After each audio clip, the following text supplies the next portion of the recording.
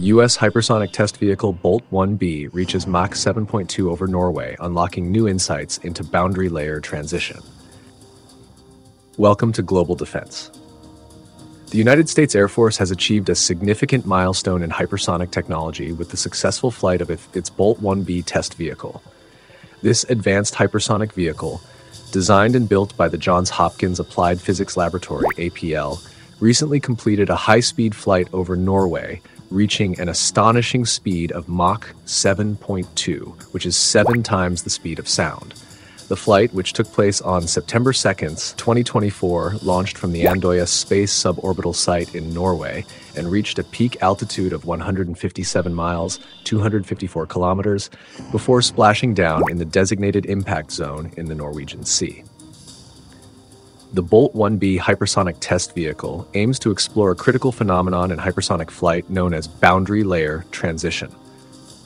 This transition involves the flow of air around the surface of a hypersonic vehicle, which significantly affects the vehicle's aerodynamic drag and heating. As a hypersonic vehicle moves through the atmosphere, it encounters both laminar, smooth, and turbulent chaotic airflows.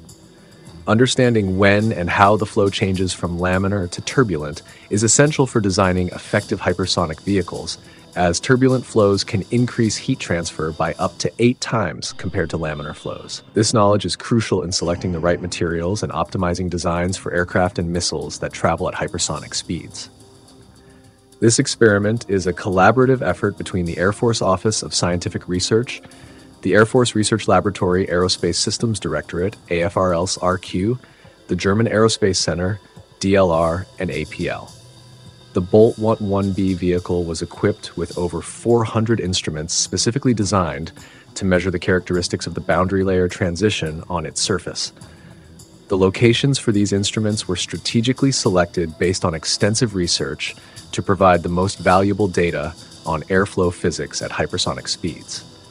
The data obtained from this test is expected to play a vital role in enhancing future hypersonic vehicle designs. According to Brad Wheaton, chief scientist with the Vehicle Design and Technologies Group at APL and the principal investigator for the project, this data will be essential for developing better modeling methods that reduce uncertainties and improve performance. This will help engineers and scientists optimize future hypersonic vehicles, making them more efficient and effective in their roles. Thomas Gansmo, Director of Sounding Rockets and Engineering Services at Andøya Space Suborbital, emphasized the importance of this achievement, congratulating the entire team on the successful campaign. The data from this experiment will provide invaluable insights into one of the most challenging aspects of hypersonic flight, enabling more precise predictions and robust designs for future aerospace innovations. Thank you for tuning in to Global Defense. Don't forget to like, subscribe, and hit the bell icon for notifications on our latest updates. Share this with others who are passionate about defense technology. Thank you for listening to Global Defense.